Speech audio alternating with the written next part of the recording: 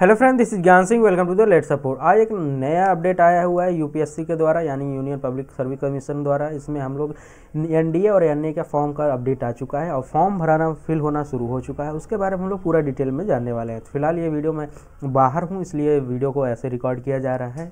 और अगर होता तो सही से रिकॉर्ड होता तो फ़िलहाल अभी चलते हैं, उसके बारे में हम लोग जानकारी लेने वाले हैं एग्ज़ाम पैटर्न क्या होने वाला है, और इंपॉर्टेंट डेट्स क्या हैं, और एप्लीकेशन फ़ीस लगने वाली कब से कब तक हम इस एप्लीकेशन फ़ीस को भर सकते हैं, और कब से कब तक इस फॉर्म को भर सकते हैं? ये लिमिट क्राइटेरिया क्या होने वाली है? वैकेंसीज कितनी है? कौन सी, कौन कौन कौन सी पोस्ट हैं? उसके बारे में हम लोग पूरा डिटेल में देखने वाले हैं। और फ़िलहाल एग्जामिनेशन स्कीम को भी देखने वाले हैं। तो फ़िलहाल अभी शुरू से करते हैं, देखते हैं। और अप्लीकेशन कब से शुरू हो गया था? फ़िलहाल हमारा अप्लीकेशन फॉर्म शुरू हो गया है। भराने आपका 20 दिसंबर से एप्लीकेशन फॉर्म भराना शुरू हो गया है। तो आज है हमारा 22 दिसंबर।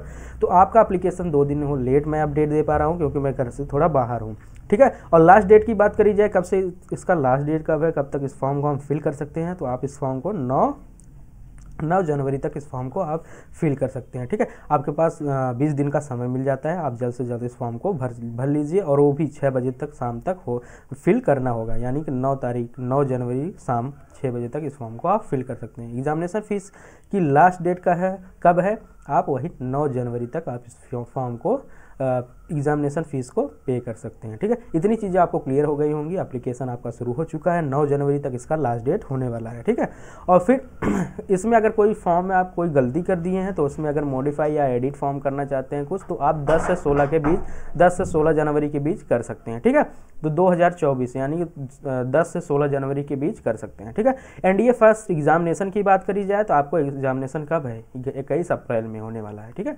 आपका एग्जामिनेशन डेट है इक्कीस अप्रैल। ठीक? आप इस इंपॉर्टेंट डेट्स को याद कर लीजिए और एग्ज़ाम में लग जाइए प्रिपरेशन के लिए, ठीक है?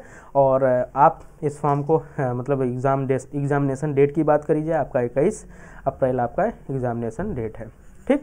तो वो चीज़ें आपको क्लियर हो गई होंगी और एडमिट कार्ड की बात करी जाए एडमिट कार्ड आपका एग्ज़ाम से एक दिन, दो, एक दिन पहले, नहीं तो आपका दस दिन पहले, पाँच दिन पहले हो जाता है एग्ज़ामिनेशन एग्ज़ाम होने से पहले तो आप वहाँ से जाइएगा। आप जब भी रिलीज़ होगा, मैं आपको अपडेट एक बार दे दूँगा। फ़ी अप्लीकेशन फ़ीस की बात करी जाए आपका जनरल हो गया ओबीसी हो गया, इनका सौ रुपये लगने वाला है। एस सी का एससी और एसटी वालों का एक भी पैसे नहीं लगने वाले हैं। और सभी फीमेल कैटेगरी कैंडिडेट की बात करी जाए, उनका एक भी पैसे नहीं लगने वाला है। और एग्जामिनेशन फ़ीस आप नेट बैंकिंग के माध्यम से डेबिट कार्ड क्रेडिट कार्ड और यूपीआई के माध्यम से भी इसको पे कर सकते हैं, ठीक है? तो चीज़ें क्लियर हो गई होंगी और एक बार इंपॉर्टेंट डेट्स की बात करी जाए तो आप ये देख रहे होंगे कि आपका एप्लीकेशन फॉर्म भराना शुरू हो गया है और लास्ट डेट आपका 9 जनवरी होने वाला है और लास्ट डेट वही पेमेंट का भी लास्ट डेट होने वाला है 9 जनवरी और जो आपका मॉडिफाई मॉडिफिकेशन यानी कि आप करेक्शन जो करना चाह रहे होंगे, वो आप 10 से 16 जनवरी के बीच कर सकते हैं। एनडीए का एग्ज़ामिनेशन कब है?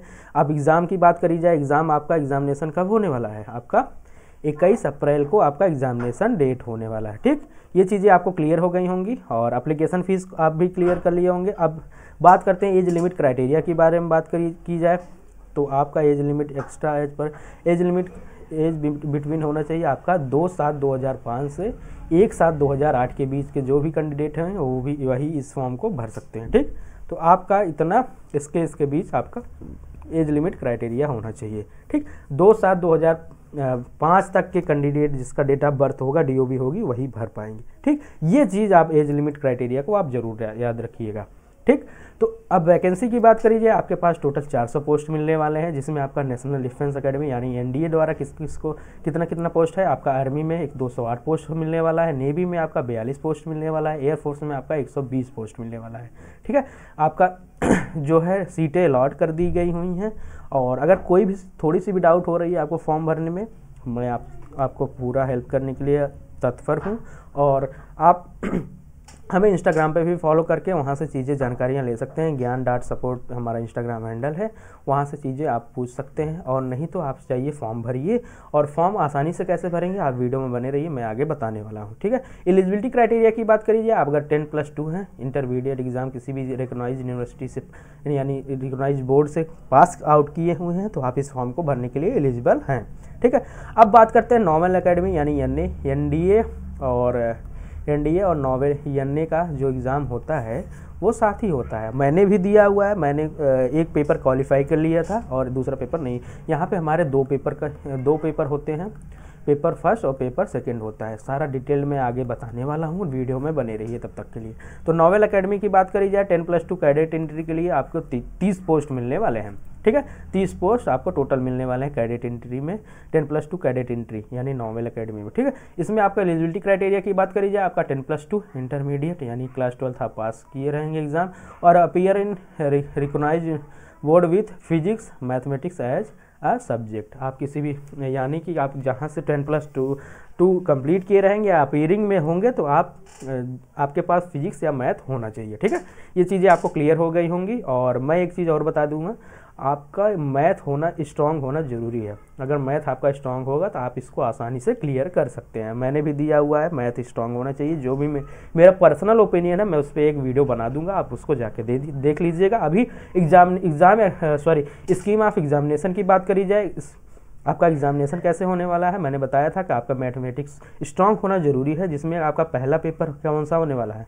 पहला पेपर आपका मैथमेटिक्स होगा, जो कि ढाई घंटे का होगा, यानी टू पॉइंट थर्टी आवर का होगा। ठीक है? वो भी 300 मार्क का होने वाला है। और जनरल एबिलिटी टेस्ट की बात करी जाए, वो भी ढाई घंटे का होने वाला है, यानी दो घंटे तीस मिनट का होने वाला है, वो भी 600 मार्क का होने वाला है। ठीक है? चीज़ें क्लियर हो गई होंगी और फिर ये मतलब टोटल आपको 900 मार्क जो होगा रिटर्न होगा एग्ज़ाम फिर आपका एसएसबी और इंटरव्यू को मिला के एसएसबी और इंटरव्यू का 900 को 900 नंबर होगा। यानी कि टोटल आपको 18 1800 नंबर का क्वेश्चन होने वाला है। ठीक है? 1800 मार्क का पूरा टोटल एग्ज़ाम होने वाला है। तो आपको आशा करते हैं चीज़ें क्लियर हो गई होंगी। और आगे बढ़ते हैं। ये चीज़ें आपको क्लियर हो गई। अगर आपको स्क्रीनशॉट लेना है, आप ले लीजिएगा। और the the paper in all subject will consist of objective type question only the question paper text booklet text booklet of mathematics and part B of general ability test will be set bilingually in Hindi as well as English यानी कि आपका जो paper second होगा paper part B वाला होगा part B वो हिंदी और English में दोनों आएगा। ठीक है? आप हिंदी में करना चाहें हिंदी में कर सकते हैं इंग्लिश में करना चाहें इंग्लिश में कर सकते हैं। ठीक? चीज़ें आपको क्लियर हो गई होंगी। अगर एक बार फिर से आपका रिवीजन करा देते हैं तो आपका एग्जामिनेशन सॉरी अप्लीकेशन बिगेन हो गया है। आप जाइए, जल्द से भरी, जल्द से जल्द भरिए और नौ लास्ट डेट होने वाला है और सौ रुपये लगने वाले हैं जनरल जनरल और ओबीसी का। एस टी का एक भी पैसा नहीं लगने वाले और सभी फीमेल कैटेगरी की बात करी जाए एक भी पैसा नहीं लगने वाले हैं। और इसमें आपका एन डी और एन ए टोटल पोस्ट चार सौ होने वाले हैं। एन डी वालों की एलिजिबिलिटी क्राइटेरिया है टेन प्लस टू पास होना चाहिए और एन ए के लिए जो कैडेट एंट्री वाले हैं, उनका तीस पोस्ट है, जिसमें आपको टेन प्लस टू कंप्लीट या अपेयरिंग में होंगे।